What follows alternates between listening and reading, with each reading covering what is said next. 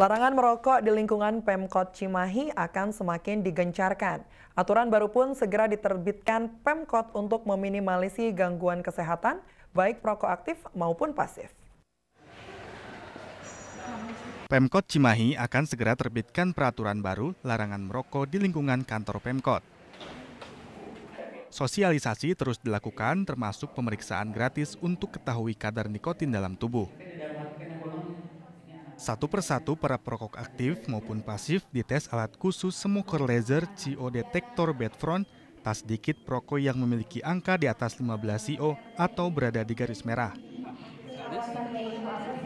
Nah, kita buat bahwa kita sepakat, kita tekankan kepada seluruh ASN minimal mengurangi merokok. Hmm.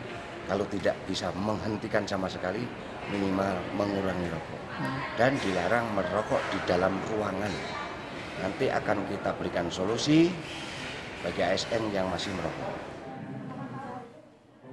Kota Cimahi sendiri sudah memiliki perda tentang kawasan tanpa rokok yang diatur dalam pasal 43 nomor 9 tahun 2017. Pelanggar akan ditindak tegas termasuk denda 50 juta rupiah. Saat ini Pemkot sudah sediakan layanan klinik berhenti rokok di 13 puskesmas. Klinik mengakomodasi keinginan perokok yang ingin kurangi atau bahkan berhenti total.